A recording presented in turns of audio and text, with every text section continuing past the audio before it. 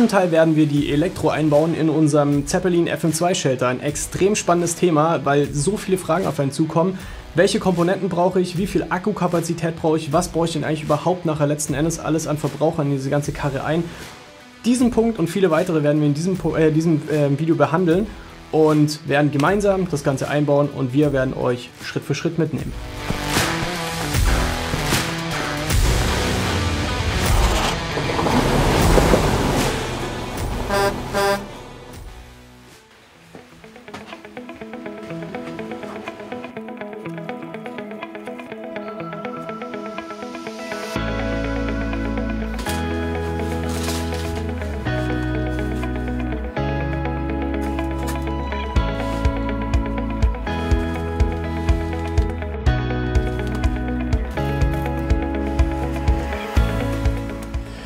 Irgendwo muss die ganze Elektro ja draufgeschraubt werden und ähm, am aller einfachsten haben wir gedacht, dass es ist, wenn wir das auf eine Holzplatte draufschrauben. Allerdings soll das Ganze auch so ein bisschen ästhetisch aussehen und ähm, zusätzlich weiß man ja, dass die Wände vom Zeppelin-Shelter relativ kalt werden. Deswegen haben wir uns dazu entschieden, ähm, die Holzplatten ein Stückchen von der Wand wegzunehmen. Zum einen haben wir eine Isolierung und zum anderen haben wir die Möglichkeit, die ganzen Komponenten einfach draufzuschrauben und müssen uns dann im Prinzip nicht groß Gedanken machen, wieder mit Kleben oder sonst irgendwie. Ähm, allerdings können wir die Holzplatten ja nicht einfach so reinschrauben oder nicht einfach so reinbauen, sondern wir müssen jetzt erstmal noch die Shelterecke unten aussparen. Dafür haben wir eine ziemlich coole neue Maschine ähm, die ich mir von der Arbeit ausleihen durfte, was uns die Arbeit extrem vereinfacht hat und ja, extrem cool macht.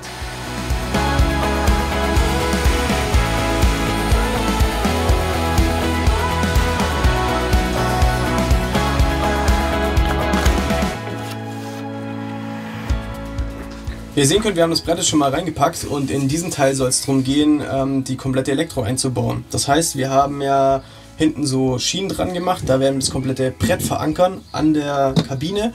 Und dann werden wir auf das Brett die ganzen Elektroteile draufschrauben. Unten auf dem Boden wird auch noch eine Platte kommen für die Batterien, also für die Akkus quasi, die wir reinbauen. Ähm, und jetzt gerade haben wir noch die Shelterecke ausgefräst, dass die Shelterecke genug Platz hat. Und jetzt sind wir gerade überlegen, ob wir das untere Brett auch noch mal ein Stückchen hochnehmen dass wenn wir tatsächlich mal Wassereinbruch haben sollten oder vom Badezimmer Wasser reinlaufen sollte oder was auch immer, ähm, dass halt die Bretter unten nicht im Wasser drin stehen, dass wir wirklich unten einfach Platz haben, dass es auch von der Isolierung quasi, also es ist bei dem Brett nicht so wichtig, aber bei dem anderen einfach noch mal ein bisschen Luft ist, wo es auch zirkulieren kann, dass die Batterien unterlüftet sind und dass die halt nicht so voll auf dem kalten Boden eben rausstehen. Das sind so die Dinge, die wir uns jetzt gerade Gedanken machen. Ja, und wenn wir das dann final erledigt haben, dann werden wir das ganze Ding hier mit schwarzem Filz beziehen und dann an die Wand dran schrauben.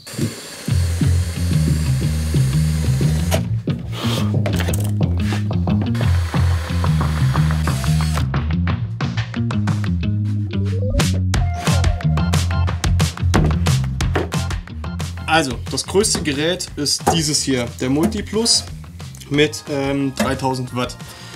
Den werden wir jetzt hier drauf bauen und zwar werden wir von hinten ähm, Einschlaggewinde reinmachen und dann durchkontern, dass dieses Gerät tatsächlich auf gar keinen Fall irgendwie auch nur ansatzweise von dieser Platte runterfallen kann. Das wäre nämlich, oder von der Wand fallen kann, das wäre nämlich das Schlimmste ever.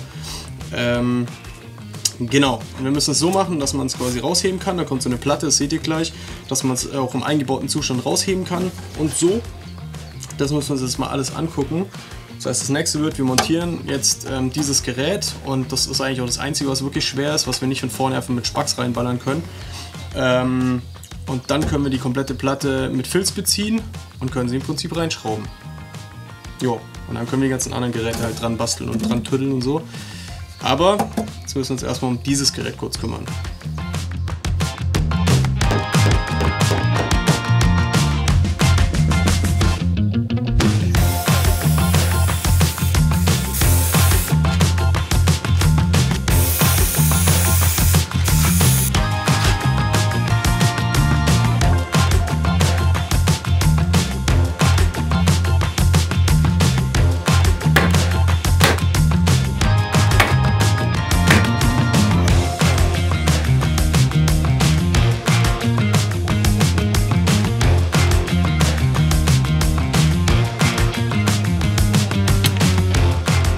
Ich muss sagen, als wir den Shelter damals auseinandergebaut haben, kam mir irgendwie nicht so richtig 100% die Idee, ähm, dass wir Teile von diesen Airline-Schienen oder von diesen Schienen äh, wiederverwenden werden. Dementsprechend war ich damals nicht so richtig sorgsam, diese ganzen Kunststoffteile irgendwie aufzuheben und diese ganzen ähm, Nutensteine und so.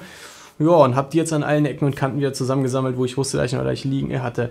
Allerdings hatten wir ein paar zu wenig von diesen Kunststoffteilen und was total cool ist, ähm, ich habe meinen Bruder gefragt, ob der mir die zeichnen könnte und dann aus dem 3D-Druck rauszeichnen, äh, raus, rausdrucken. Und das Ganze hat er auch gemacht, was mega cool ist von ihm. Und ich muss sagen, das Ergebnis ist extrem gut geworden. Ich hätte nicht gedacht, dass es so gut wird.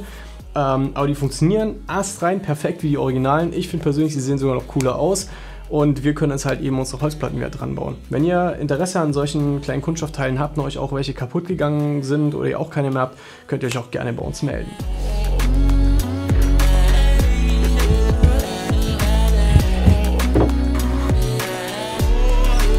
Wie anfangs schon erwähnt, ist das Ganze ähm, in Fallen so einem Expeditionsmobil echt komplex, was das Thema Elektro angeht. Wir haben ja schon die Elektro zweimal in unserem Canopy Camper eingebaut und ähm, es ist eine komplett andere Welt. Also in einem, in einem Expeditionsmobil ähm, kann man noch viel mehr einbauen und da kann es so richtig abgehen, was Elektro angeht.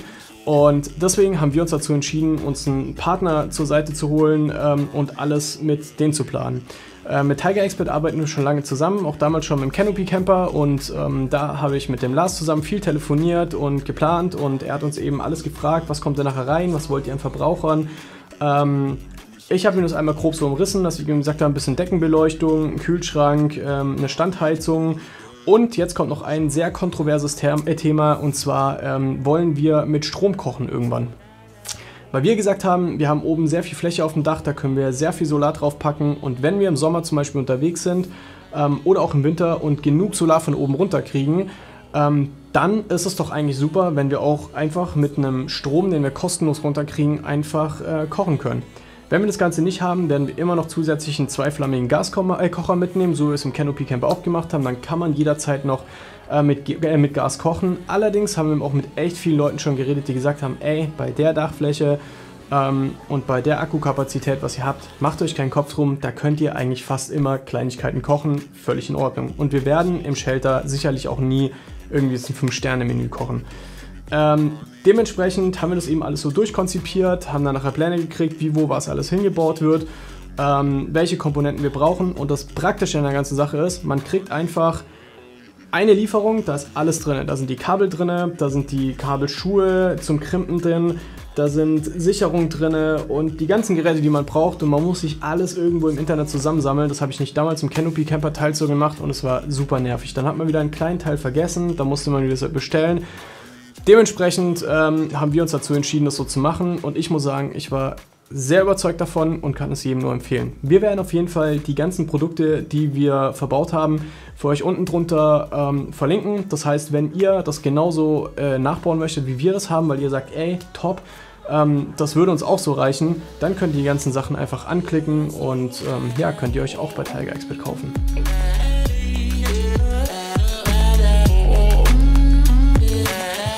Muss sagen, ich finde es ja immer schön, wenn tatsächlich irgendwas auf Anhieb funktioniert oder allgemein, wenn das funktioniert, so wie man sich das geplant hat.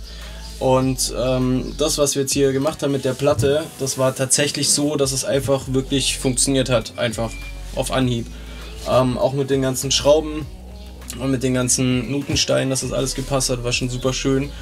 Ähm, und jetzt werden wir uns darum kümmern, die ganzen Geräte zu verteilen. Da muss ich sagen, tue ich mir echt schwer, weil bei unserem anderen Fahrzeug, was wir gebaut hatten, da war das halt viel weniger Elektrozeugs und jetzt muss man sich Gedanken machen, wo wir das hier alles hintüddeln. Ein Teil, also die ganze intelligente Lichtsteuerung, also quasi KNX hier, ähm, werden wir dann schon irgendwie outsourcen, das werden wir woanders hinbauen, das weiß ich jetzt schon, weil wir hier den Platz einfach nicht haben. Ähm, aber so das Angro der ganzen Geräte wird auf jeden Fall hier an die Wand rankommen. Was wir auch machen müssen, wo wir aufpassen müssen, die ganzen Geräte können ja heiß werden ähm, dass wir die weit genug von der Wand wegbauen, also da irgendwie Spacer drunter basteln. Das werden wir auf jeden Fall machen müssen. Ähm, ja, dementsprechend müssen wir mal schauen. Aber ich denke, das werden wir schon hinkriegen. Ja, Wir fangen jetzt einfach mal irgendwo an und letzten Endes, ob das gut ist oder nicht, das wird sich dann, glaube ich, erst irgendwann feststellen, wenn wir alles reingebaut haben. Und so lang Try and Error, ne?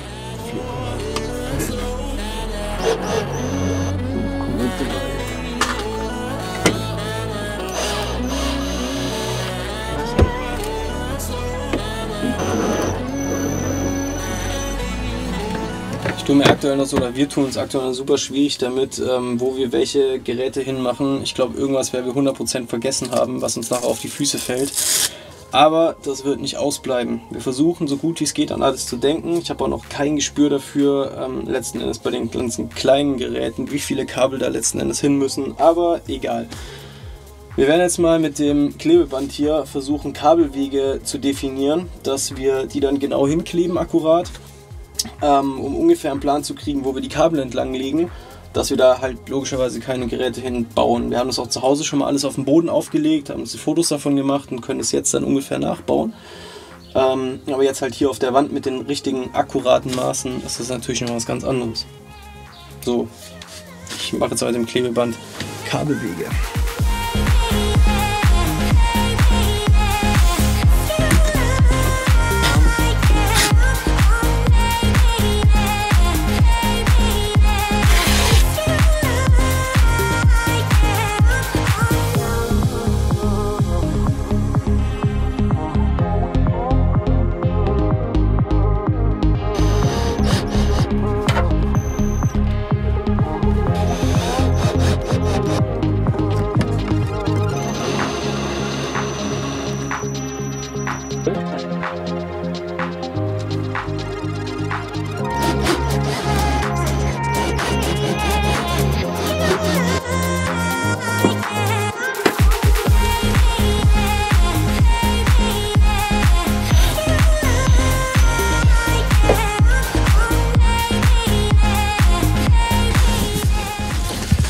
So, die meisten Geräte sind dran. Im nächsten Schritt geht es jetzt weiter mit der Verkabelung. Allerdings haben wir heute schon relativ spät und beenden das Thema wahrscheinlich hier der, äh, an dem Punkt für heute. Und dann geht es morgen weiter. Ähm, ja, letzten Endes morgen, glaube ich, wird sich dann feststellen, ob wir die Geräte ganz gut positioniert haben, ob das alles so funktioniert, wie wir uns das denken oder nicht. Und was ich morgen auch noch machen muss, ist unten das Bodenbrett festschrauben und dann die Akkus festschrauben. Und die Akkus sind ein richtig cooles Teil. Das werde ich euch dann morgen im Laufe des Tages erklären und zeigen.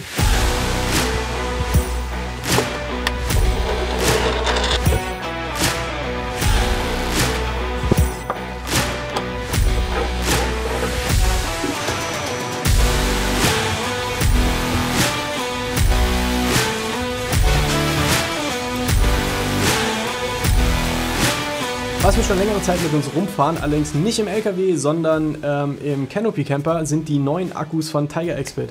Ähm, die wurden auf der letzten Abenteuer-Allrad vorgestellt. Wir haben sie schon längere Zeit davor zum Testen bekommen.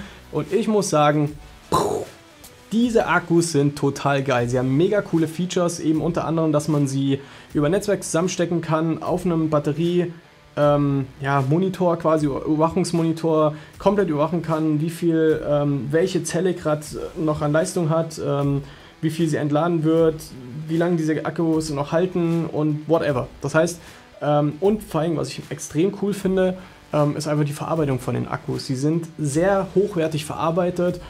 Ähm, also lohnt sich auf jeden Fall mal da einen Blick drüber zu werfen, wenn ihr auch gerade an dem Punkt seid und euch überlegt, ah, welche Akkus sollen wir kaufen, dann schaut gerne mal bei äh, Tiger Expert vorbei. Packen wir euch auch natürlich unten rein die Links. Ähm, die gibt es in verschiedenen Größen, da müsst ihr selber einfach gucken, ähm, was ihr braucht. Und diese haben wir auf jeden Fall schon längere Zeit im Einsatz und sind extrem happy damit und können sie auf jeden Fall nur weiterempfehlen. Lange Rede, kurzer Sinn. Irgendwie muss natürlich von den Akkus jetzt auch der Strom in dem ganzen Camper verteilt werden und irgendwie muss auch der Strom auf die Akkus drauf, dass sie wieder geladen werden. Und das wird der nächste Part sein. Das ist tendenziell eher so der ganze kritische Part, wo man echt ein bisschen bei der Sache sein muss ähm, und mitdenken muss, wo, wie, welches Kabel hin muss. Das haben wir aber auch grob von Tiger Expert bekommen. Das heißt, da kann man auch nicht viel falsch machen. Und wenn man mit dem Kopf ein bisschen bei der Sache ist und ein bisschen drüber nachdenkt, dann ist es eigentlich auch logisch, wo, wie, welches Kabel hin muss. Und ähm, das Ganze werden wir jetzt auf jeden Fall als nächstes tun.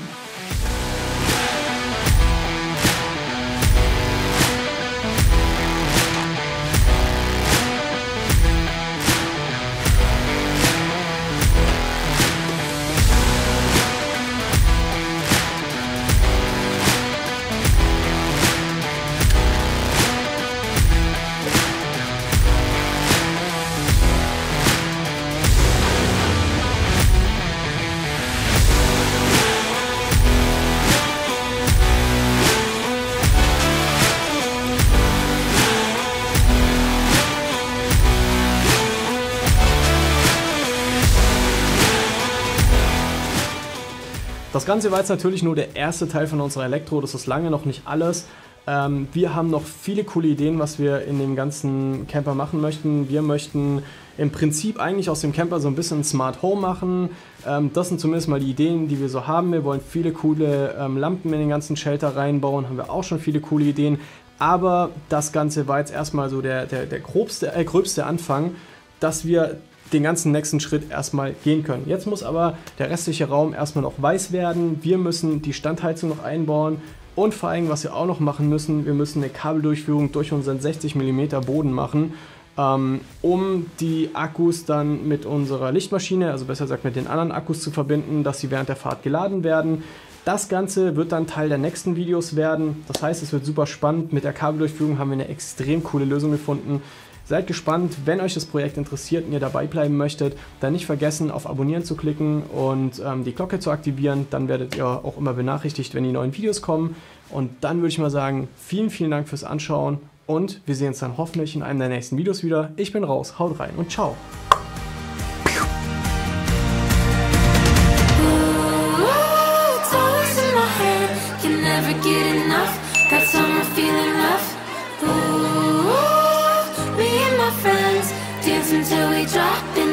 Good times don't stop